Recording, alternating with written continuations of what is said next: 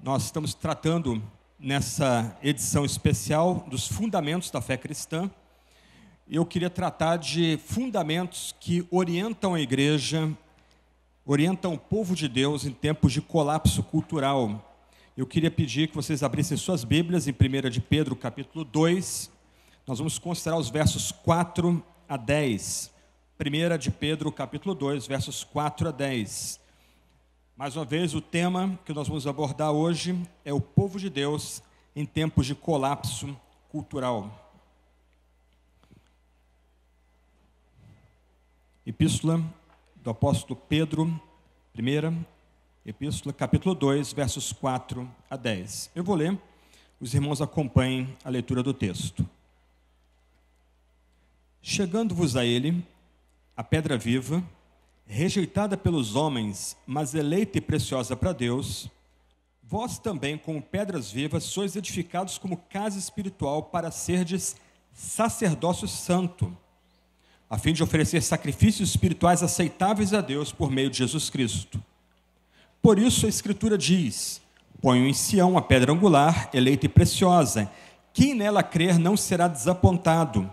Assim, para vós os que credes, ela é preciosa mas para os descrentes, a pedra que os construtores rejeitaram foi colocada como a principal, a pedra angular, e como pedra de tropeço e rocha que causa a queda, porque eles tropeçam na palavra por serem desobedientes, mas também para isso foram destinados. Mas vós sois geração eleita, sacerdócio real, nação santa, povo de propriedade exclusiva de Deus, para que anuncieis as grandezas daquele que vos chamou das trevas para a sua maravilhosa luz. Antigamente não erais povo, agora sois povo de Deus. Não tinhas recebido misericórdia, agora recebestes misericórdia. Antes da gente considerar essa passagem bíblica, imagino que vocês a conheçam, vamos voltar um pouquinho e tentar entender para quem o apóstolo Pedro está escrevendo essa carta. No primeiro capítulo, no verso 1, nós temos aí os destinatários da carta. Ele está escrevendo essa carta ao que ele chama de eleitos peregrinos que vivem na província romana da Ásia Menor, o que seria hoje Anatólia, na Turquia. Então ele está escrevendo para homens e mulheres, aos quais ele denomina aí de eleitos peregrinos que vivem nessa região do antigo Império Romano. E quem são esses eleitos peregrinos aos quais ele se dirige? Vamos lá. Primeiro, é um grupo composto de cristãos, judeus e gentios. Então, nós temos aqui Pedro se dirigindo ao grupo multiétnico, judeus e gentios igualmente, que servem, que creem no único Messias. Esse grupo é composto de maridos e esposas. A gente vê isso no capítulo 3, versos 1 a 7. É um grupo composto também, basicamente, de servos, e a palavra empregada no capítulo 2, verso 18, não é escravos. Então, ele se dirige aí a cristãos, judeus e gentios, muitos deles casados, que são criados, empregados e serventes homens e mulheres que têm um trabalho mais simples, um trabalho basicamente manual.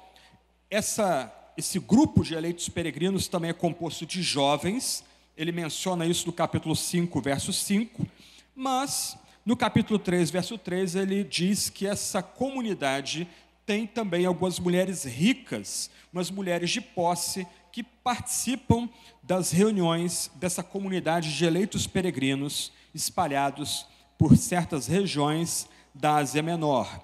E ele também se dirige no capítulo 5, versos 1 a 4, a presbíteros que compõem essa comunidade. Lembra, nós estamos tratando aqui do povo de Deus em tempos de colapso cultural. Pedro também nos dá algumas indicações do que essa comunidade de eleitos peregrinos enfrentava. Por exemplo, no capítulo 1, versos 6 e 7, no capítulo 3, versos 13 a 17, capítulo 4, versos 12 a 19 e capítulo 5, versos 8 e 9, Pedro vai nos mostrar que essa comunidade de peregrinos sofria perseguições especificamente pela sua fé. No capítulo 4, versos 4 e 14, ele vai dizer que essa comunidade, ele tem ciência de que essa comunidade de peregrinos também sofria insultos capítulo 2, verso 12 e capítulo 3, verso 16, Pedro menciona que essa comunidade sofria também acusações falsas de má conduta moral ou ética. E finalmente, no capítulo 2, verso 20, Pedro dá a entender que alguns dos membros dessa comunidade sofreram agressões físicas por serem dessa comunidade de eleitos peregrinos, como ele chama no capítulo 1. Pedro então escreve essa epístola vigorosa para essa comunidade. No texto que nós vamos abordar essa noite, em que ele trata aí do que é o povo de Deus, o que é essa comunidade de eleitos peregrinos, ele vai usar duas imagens para falar desse povo de Deus. Na primeira imagem, ele caracteriza esse povo como templo e depois caracteriza essa comunidade como sacerdócio. Uma, um ponto que eu julgo que a gente pode chamar atenção nessa altura é que toda a carta, particularmente essa seção que nós temos diante de nós, tem várias citações do Antigo Testamento. Em outras palavras, Pedro quer fundamentar o povo de Deus como templo e sacerdócio a partir do Antigo Testamento, palavra revelada do Senhor. A passagem pode ser dividida em duas partes principais. A primeira parte vai do capítulo, do capítulo 2, versos 4 a 8. Pedro constrói a ideia do povo de Deus como um templo.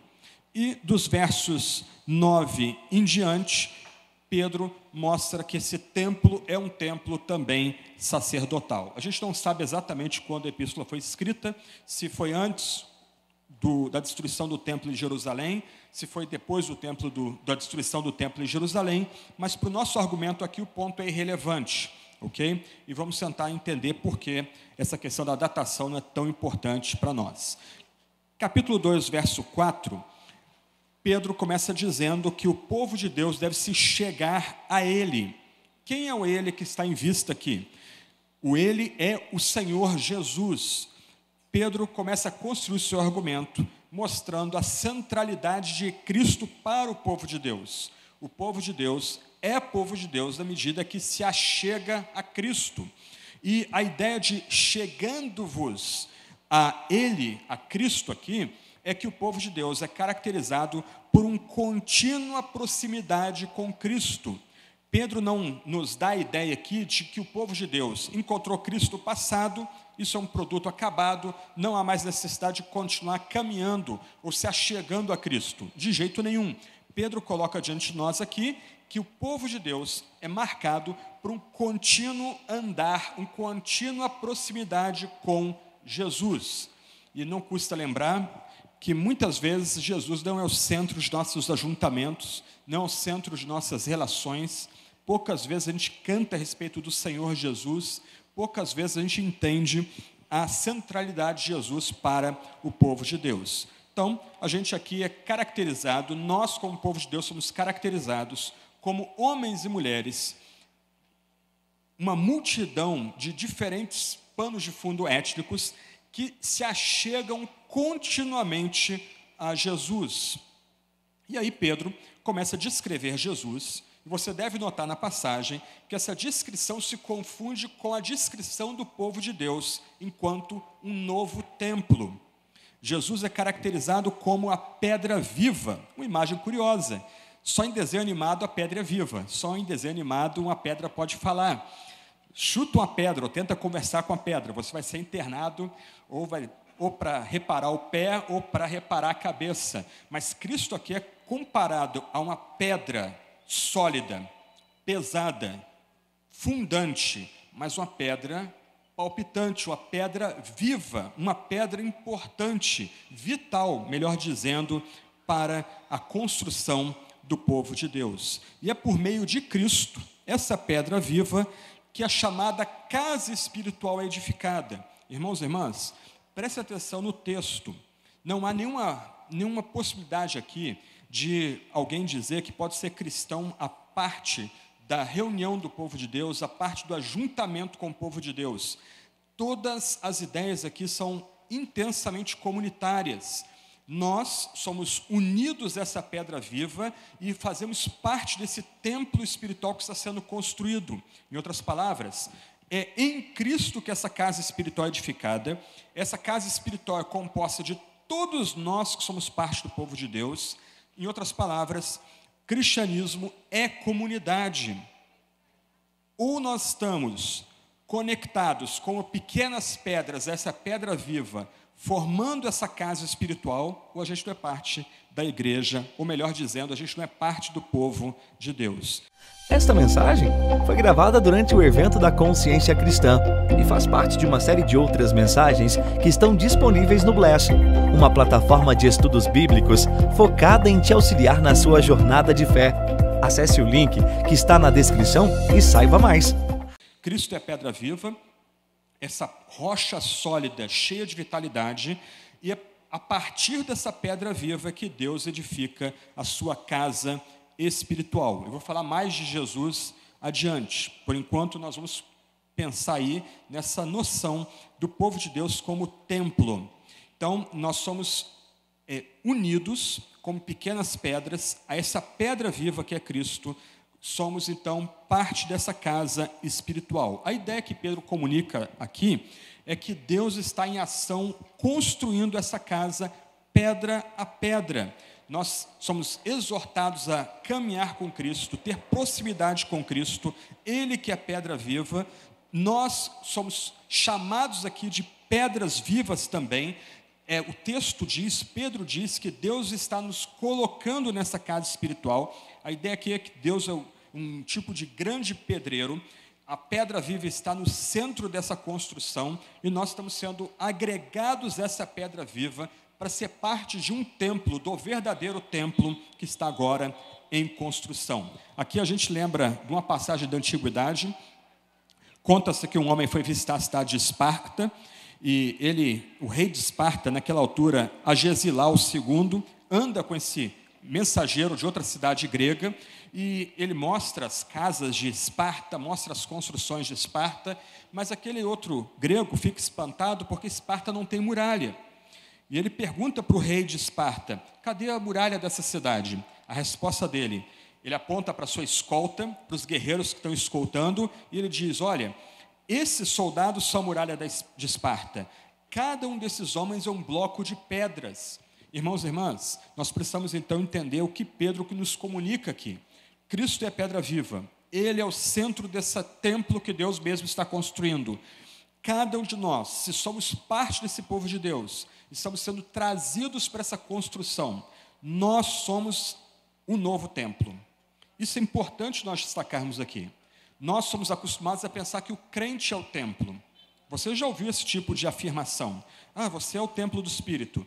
Não é isso que Pedro comunica aqui. Nem Paulo comunica isso de fato em 1 Coríntios. Nós somos o templo. Cristo é a pedra principal. Nós, se somos de fato essas pedras vivas que Deus está traindo para essa construção, nós somos parte, nós somos parte desse templo que Deus mesmo está construindo. Nota que esse templo é chamado de casa espiritual. O templo de Deus, alicerçado em Cristo, onde o Espírito habita. Pedro lembra aqui que o ajuntamento do povo de Deus não depende de edifício, não depende de instituição, não depende de uma certa estrutura, organização interna, mas onde homens e mulheres, independente do seu pano de fundo étnico, se aproximam de Cristo por meio da operação divina, esses homens e mulheres já são considerados pequenas pedras vivas, colocadas lado a lado, agrupadas junto com Cristo, para comporem o templo de Deus, a casa espiritual, onde de fato o Espírito habita. Mais uma vez, não há cristianismo solitário para nós aqui. Nós precisamos de outros homens e mulheres ao nosso lado, se nós de fato estamos nos achegando a Cristo como a pedra viva que Deus estabeleceu. Em outras palavras, o que Pedro coloca para nós aqui é que o lugar da habitação de Deus e do seu Santo Espírito não é mais o templo em Jerusalém, mas o Deus e o seu Santo Espírito habitam com poder onde os peregrinos estão, onde esses peregrinos que são o templo de Deus estão.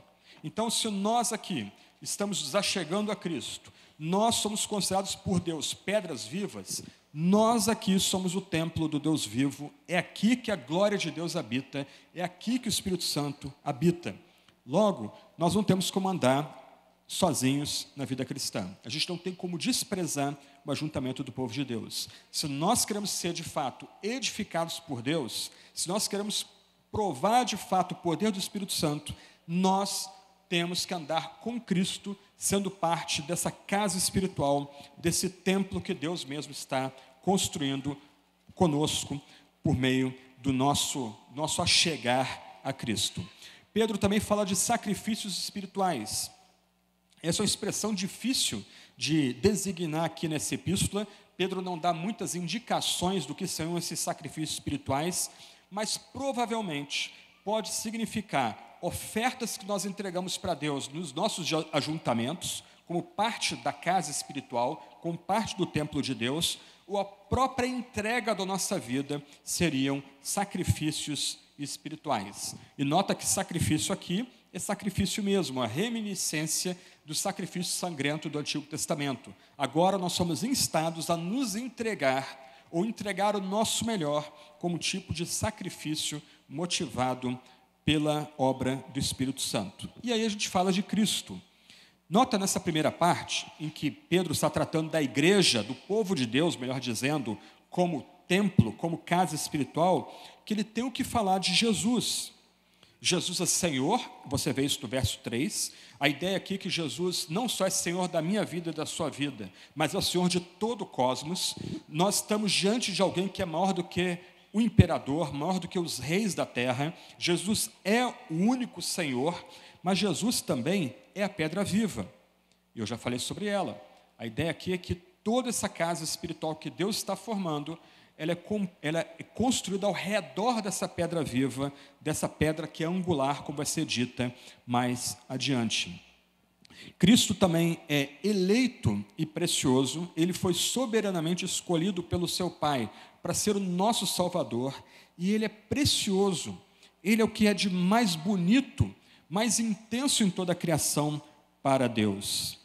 Mas Pedro continua falando de Cristo. Versos 6 a 8. Esse Cristo, que é a pedra viva, também é a pedra angular. E aqui há um dado curioso. O que era pedra angular no mundo antigo?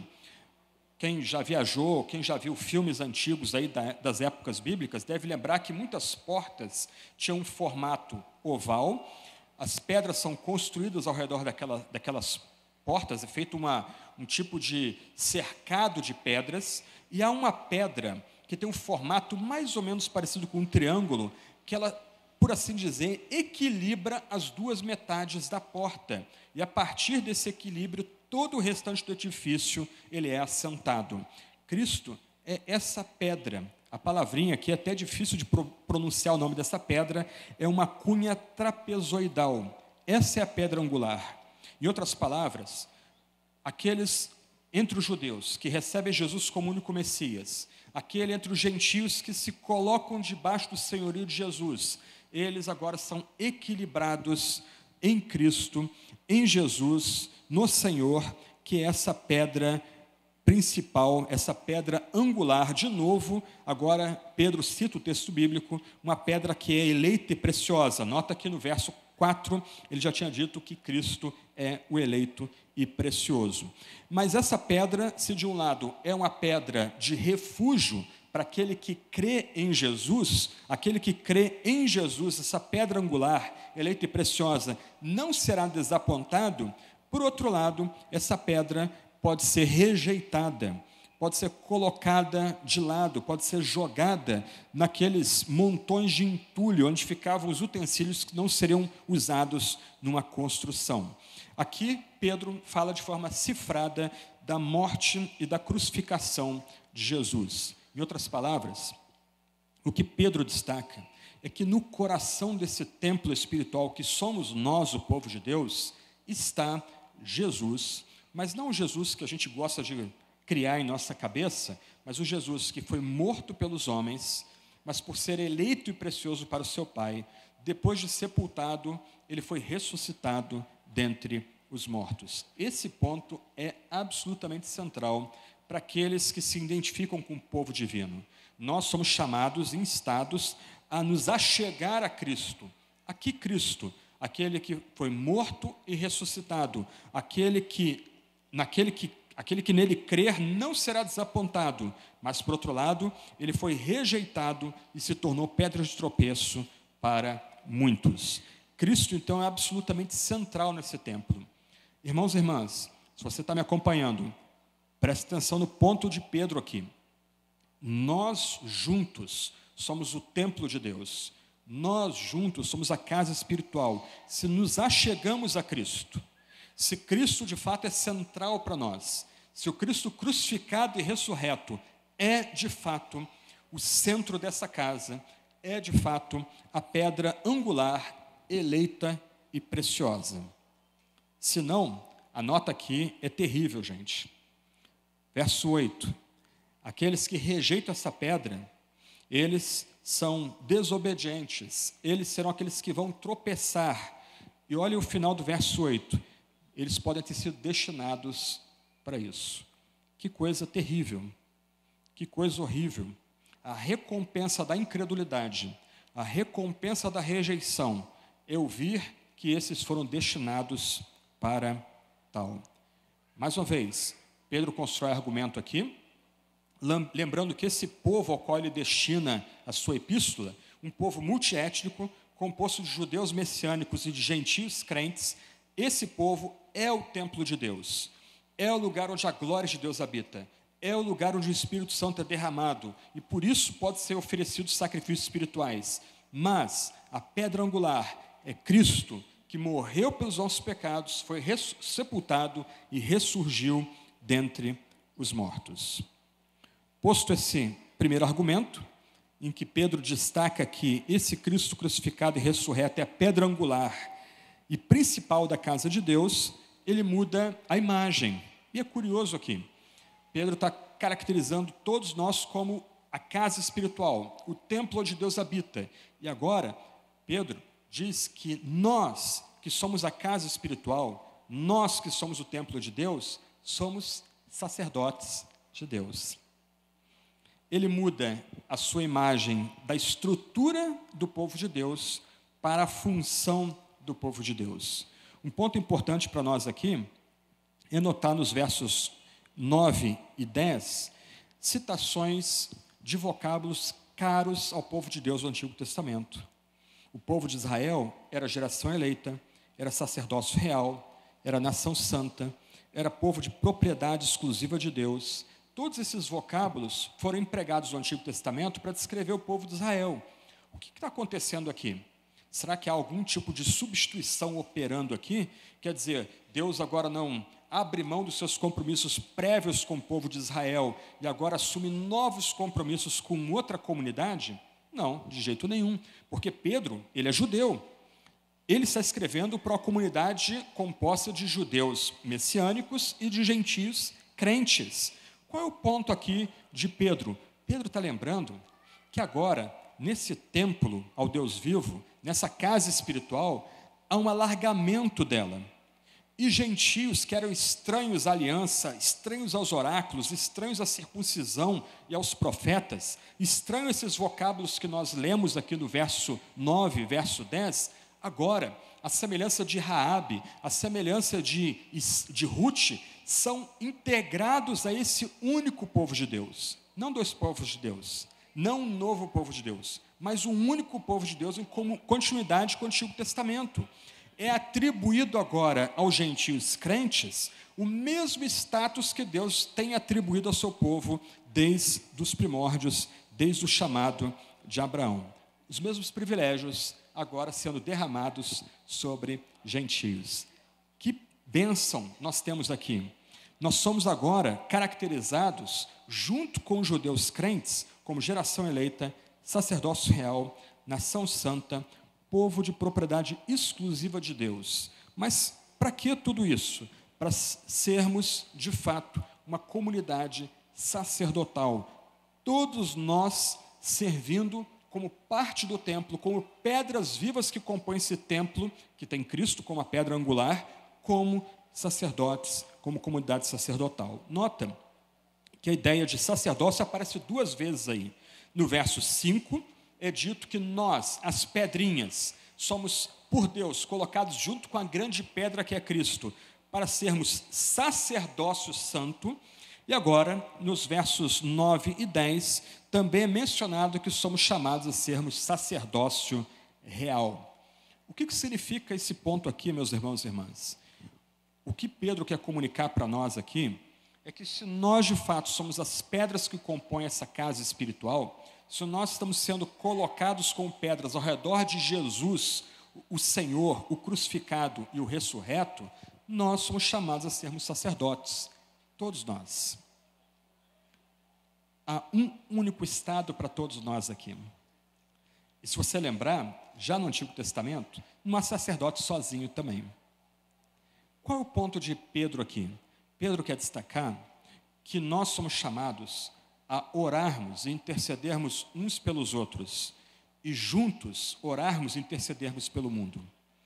E isso é destacado na medida que Pedro lembra que nós somos um sacerdócio santo, isto é, separado, puro, dedicado somente a esse Deus que está nos trazendo para perto do seu filho, e do outro lado, nós somos um sacerdócio real. Que status? Mais adiante, Pedro vai dizer que a gente deve honrar o rei. Não temer o rei, mas honrar o rei. Por que essa distinção? Porque nós também temos um status real na presença de Deus. Nós somos sacerdócio santo e real. Juntos, meus irmãos e irmãs, somos chamados a interceder uns pelos outros, interceder pelo mundo. O que, que significa na prática? Se você não consegue orar e ler a Bíblia, você vai ter um irmão, uma irmã na comunidade que vai orar e ler a Bíblia para você. No dia que você estiver fraco, você vai ter alguém na comunidade que vai orar e ler a Bíblia por você. Nós somos chamados a orar pelo mundo, a interceder pela criação também. Isso é ser sacerdote santo, isso é ser um sacerdote real. Num nível, nós temos funções diferentes, uns chamados para serem pregadores, presbíteros, mestres, diáconos, missionários, mas no outro nível, todos no mesmo nível, todos iguais, todos chamados de sacerdotes. Sabe o que significa isso? Significa que quando você limpa a sua residência, você deve limpar a sua residência como sacerdote. Quando você trabalha na marcenaria, ou como advogado, ou como médico, ou como médica, você é chamado a trabalhar, desempenhar essas tarefas como sacerdócio sacerdócio real e santo. Você é chamado, usa-se a expressão leigo, que é uma expressão detestável, mas vá lá, você como leigo é chamado a desempenhar suas tarefas com a mesma paixão que um pregador, um missionário, uma missionária, um presbítero, um diácono, um professor ou professora é chamado a desempenhar também. Todos somos chamados a sermos sacerdotes reais e santos. Mas, um pouco antes, Pedro lembra um pouquinho mais de quem nós somos. Nós somos geração eleita. O destaque aqui é que somos o que somos pela graça de Deus, não pelos nossos méritos ou obras. Deus chamou os piores para serem os seus eleitos. Antes ele já havia falado disso, que a comunidade de peregrinos é uma comunidade eleita. Aqueles então que compõem essa comunidade de eleitos são os piores. Eu gosto muito de uma história atribuída a Francisco de Assis, o famoso monge medieval. Ele, já no final da sua vida, uma vida de renúncia e sacrifício e pobreza em prol do próximo e por causa de Cristo, ah, alguns monges jovens perguntam a ele: por que Deus escolheu você para essa missão? E ele não sabe responder, ele não tem como responder porque ele é parte dessa comunidade de eleitos. Mas os jovens monges continuam aperreando ali o, monge veterano e querem saber a razão. Tem que ter alguma razão para Deus ter escolhido um jovem guerreiro nobre para abrir mão de tudo aquilo e se imitar Cristo em pobreza e doação para o próximo. Lá pelas tantas, Francisco vira para aqueles monges e diz: Olha, Deus me escolheu porque não havia pecador maior do que eu. Isso é que constitui essa comunidade de eleitos, de geração eleita. É mais um título que é empregado no Antigo Testamento para descrever o povo de Deus lá atrás. Mas Pedro fala também que somos nação santa. A ideia aqui, isso é um ponto muito importante para nós hoje. Nós somos uma nação que transcende limites territoriais. Nós estamos espalhados por toda a terra. Aqueles que já têm tido aí a oportunidade de viajar para outros países, como é que é um encontro com cristãos em outros países? Talvez você saiba falar pouco o idioma de onde você está indo, talvez aquela pessoa tenha dificuldade de se comunicar com você, mas não dá a impressão de que você conhece aquele crente, aquela cristã, toda a sua vida, mesmo que você não tenha tido um contato prévio com ela, isso é um lembrete que nós somos uma nação, uma nação que transcende as divisões territoriais e políticas desse tempo caído. Mas nota, nós devemos ser uma nação santa. Nota que o santo aqui não está como uma exortação para buscar a santidade. Pedro lembra que Deus já nos vê como uma nação pura, separada, completamente dedicada a Deus. Mais do que isso, agora nós somos também, somos também chamados de povo de propriedade exclusiva de Deus. Um povo de Deus que pertence somente a Ele. A imagem que Pedro tem aqui é que no mundo antigo era comum reis, imperadores terem lá um, o seu tesouro principal, o tesouro que era da, daquele império, daquele reinado. Mas o rei ou imperador também tinha um tesouro particular, ele tinha uma câmara no seu palácio onde ele depositava ali o seu tesouro principal. A ideia aqui de povo de propriedade exclusiva de Deus é que Pedro comunica que nós somos esse tesouro que está guardado na própria presença de Deus. Nós estamos separados do tesouro oficial e pertencemos somente a Deus como seu tesouro principal, o tesouro que ele mais dá atenção. Isso é que nós somos, povo de propriedade exclusiva de Deus. Mas para que Deus os qualifica aqui? Para que Deus, porque Deus os chama ou nos dá privilégios tão elevados como sermos chamados como geração eleita, sacerdócio real, nação santa e povo exclusivo. Ele conecta isso à missão. Nós somos ou recebemos todos esses privilégios em continuidade com o povo de Israel para anunciarmos as grandezas de Deus. Em outras palavras, anunciarmos os feitos poderosos de Deus. É para isso que Deus nos qualifica nesse sacerdócio. Somos sacerdotes com grandes privilégios para conectar, para comunicar o poder divino, os atos poderosos de Deus, que nos tirou das trevas, nos resgatou das trevas e agora nos coloca na sua maravilhosa luz. A ideia aqui é que nós estamos num tipo de reinado, o reinado de trevas, e por pura graça e misericórdia, fomos removidos daquele, daquela esfera de escuridão completa, trevas, e fomos agora colocados num ambiente de luz, totalmente iluminado, iluminado pela misericórdia recebida. E aqui a gente precisa lembrar que misericórdia é aquele ato de Deus de não conceder aquilo que nós merecíamos, ou seja, a ira e a repulsa divina.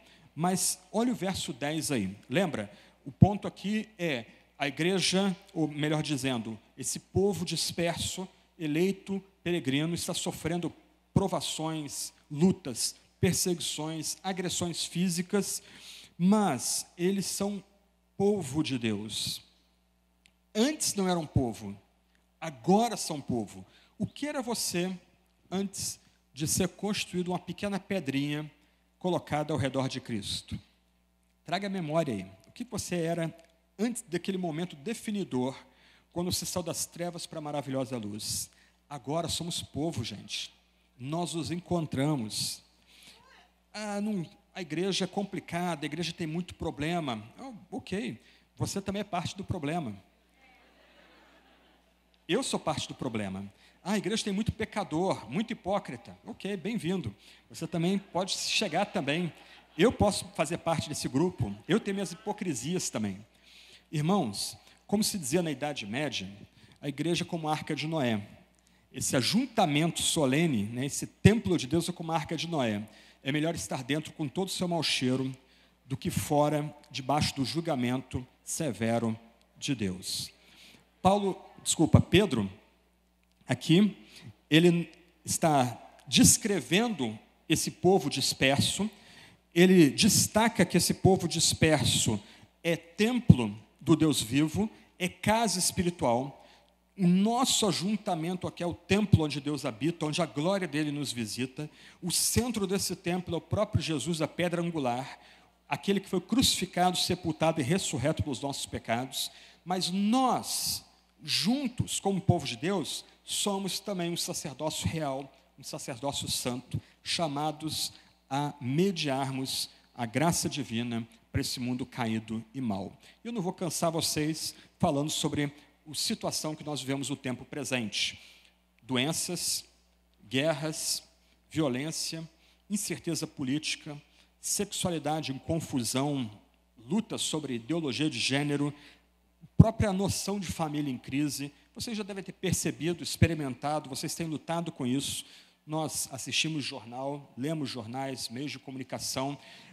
Algo espantoso está acontecendo na nossa cultura e acontecendo com velocidade imensa. A herança de nossos antepassados está sendo desfeita diante dos nossos olhos. A sociedade como a conhecemos está colapsando. Para usar a linguagem aqui pomposa dos sociólogos, né, o tecido social sendo esgarçado. Qual o papel do templo de Deus, da casa espiritual de Deus, num momento como esse? Como os sacerdotes reais, santos, se posicionam nesse tempo? A gente tem que voltar ao texto então. Um ponto importante que é destacado por Pedro aqui é que há uma polarização que é necessária, meus irmãos e irmãs. Hoje convencionou-se a dizer que toda polarização é errada, como se nunca tivesse ocorrido polarização política no passado, temos que evitar polarização num sentido, no outro sentido, não. Pedro destaca aqui que Cristo foi desonrado pelos homens. Essa pedra preciosa, essa pedra angular foi desprezada pelos homens. Eles olharam aquela pedra ah, ela não está muito bem cortada, ela está muito rugosa. Deixa eu jogar aqui no campo aqui. E daqui a pouco aquele que jogou aquela pedra fora tropeça e cai naquela pedra. Do outro lado, nós, verso 4, somos chamados a nos achegar a essa pedra, a caminhar junto com essa pedra viva que é o nosso Senhor Jesus, único Messias que foi crucificado e ressurreto em nosso favor, em nosso lugar nós somos chamados a ficar do lado de Cristo e sermos rejeitados pelos descrentes. Irmãos e irmãs, se nós não estamos provando rejeição, alguma coisa está errada com a casa de Deus. Se nós não estamos provando mais perseguição, algo está profundamente equivocado conosco, porque o mundo odeia esse Cristo, o mundo despreza essa pedra angular. O mundo não tem paciência com o sacrifício sangrento do nosso Salvador na cruz, muito menos com ressurreição. Se nós estamos sem destacar esses pontos, não há polarização.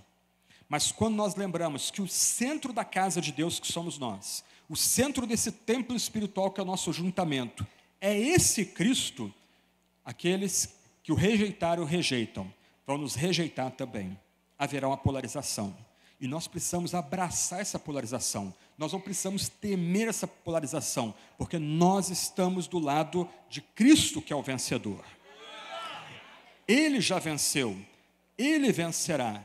É desse lado que nós estamos, chegando-nos a Ele, caminhando dia a dia ao lado dele, unidos a Ele pela, pelo poder e operosidade de Deus. Ele é a grande pedra, e nós sendo colocados ao lado dessa grande pedra como templo de Deus, como a casa espiritual de Deus. Então, ainda que desonrado pelos homens, Cristo é honrado por Deus. Quando nós achegamos a Cristo, somos desprezados pelos homens, mas somos honrados por Deus. Abrace essa polarização. Viva essa polarização. Que de fato Cristo seja o centro da nossa casa. Que de fato Cristo que se revela na Escritura, o Messias de Israel, o maior judeu da história, seja de fato aquele que vai fazer essa ruptura grande em nossa sociedade. Que a gente corra para Ele, que a gente se achegue a Ele. E que a gente se achegue a Ele como revelado na Escritura. Pedro, no verso 6, diz: a Escritura diz, e nosso apóstolo aqui cita o Antigo Testamento. Ele está citando Salmos e Isaías, dois textos de Isaías, um texto de Salmos. Ele não está inventando nada novo.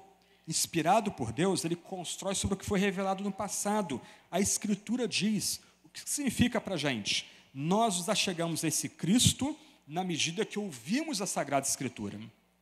De um lado, Cristo é a palavra viva de Deus, mas nós nos chegamos a Cristo quando recebemos a palavra escrita que é a Bíblia. Colocando de outro lado, aqui é o bercinho onde o bebê Jesus repousa.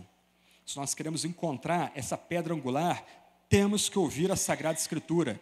A casa de Deus tem que ter a Escritura como centro. O templo espiritual, o templo onde Deus habita, é onde nós ouvimos de Cristo por meio da Sagrada Escritura.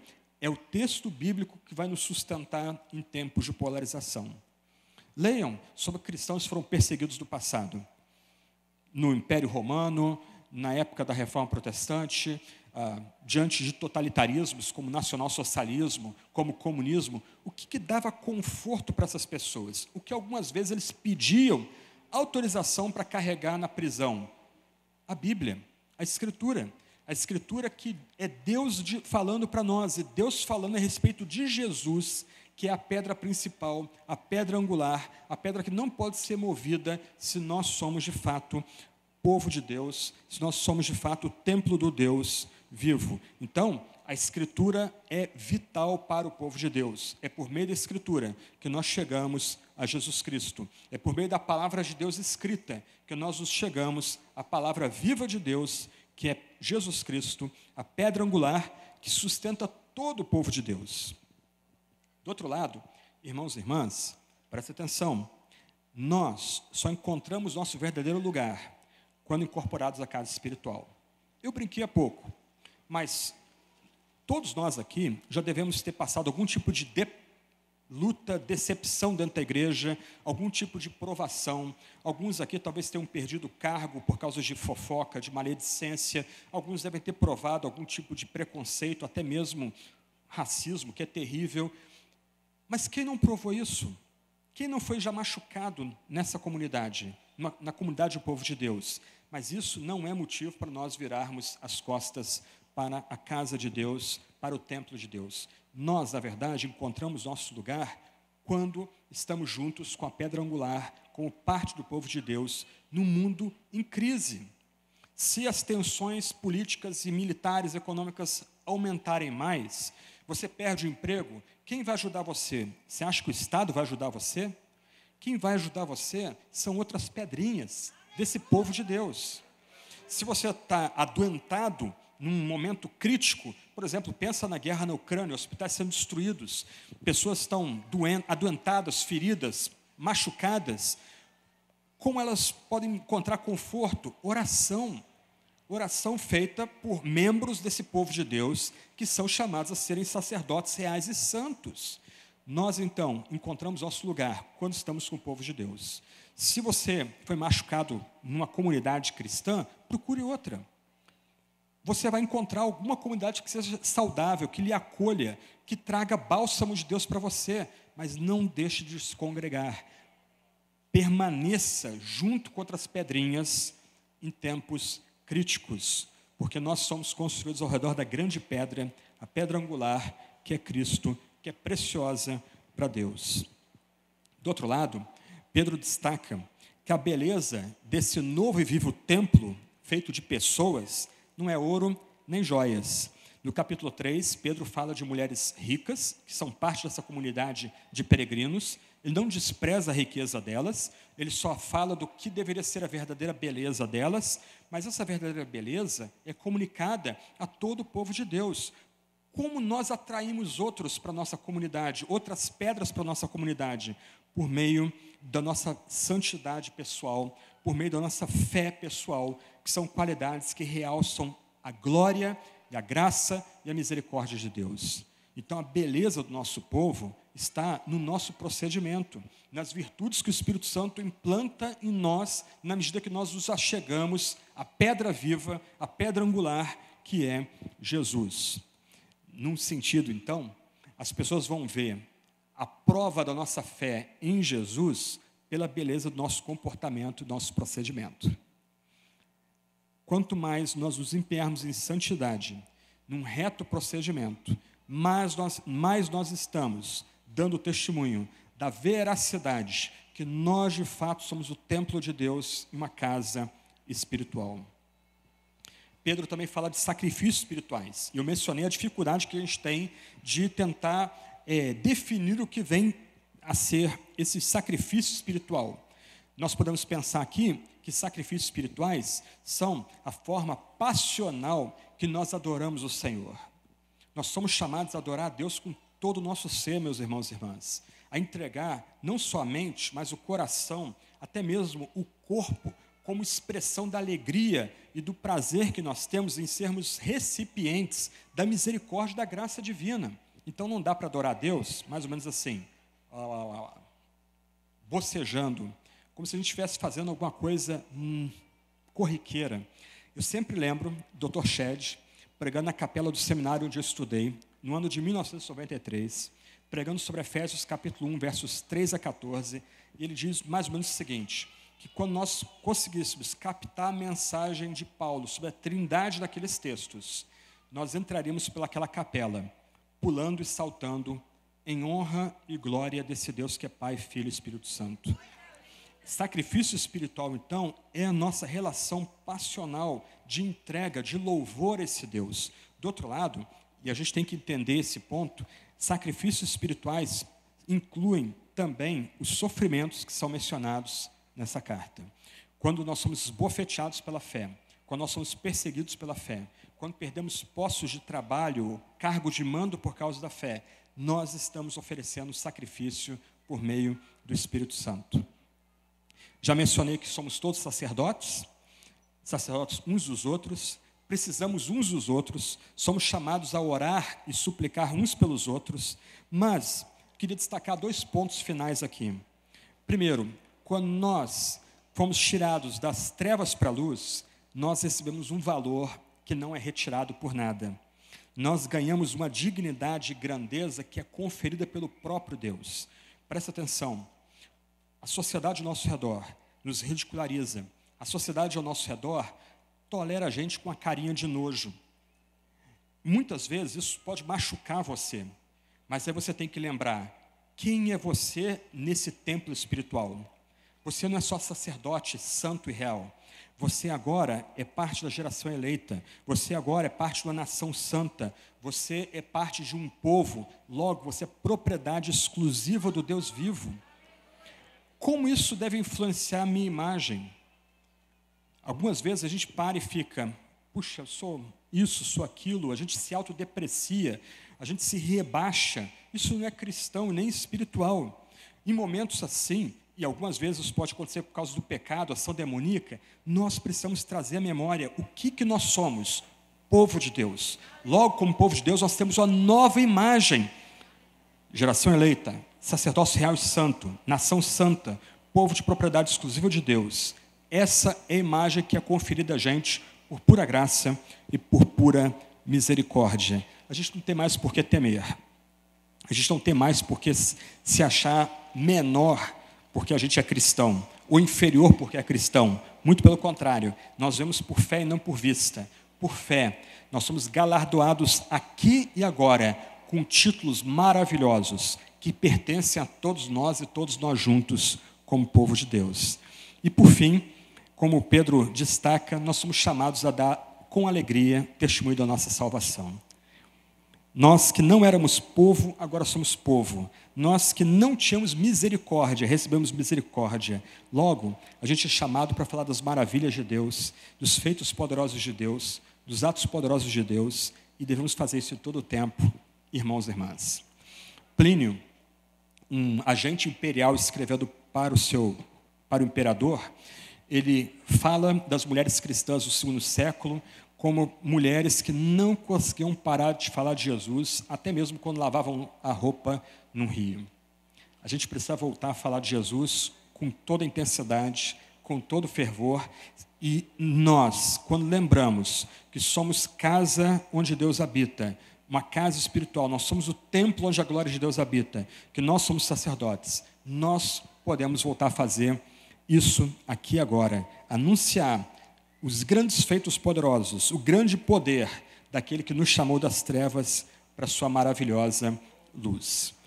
Eu não canto nada, é, sou totalmente desafinado, horrível para cantar, mas eu queria terminar lendo três estrofes do hino que comunica bem o texto que nós refletimos agora. O hino é da igreja, o fundamento. A primeira estrofe diz: Da igreja o fundamento é Cristo Salvador. Em seu poder descansa, é forte em seu amor. Pois nele alicerçada, segura e firme está, e sobre a rocha eterna jamais se abalará. Segunda estrofe. A pedra preciosa que Deus predestinou sustenta pedras vivas que a graça trabalhou. E quando o monumento surgir em plena luz, a glória do edifício será do Rei Jesus. Em aos sofrimentos que vive a enfrentar, espera a Igreja Santa um dia triunfar, pois a visão gloriosa enfim se cumprirá e a Igreja vitoriosa em paz repousará.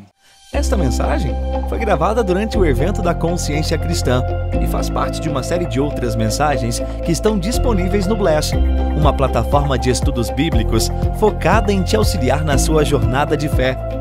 Acesse o link que está na descrição e saiba mais.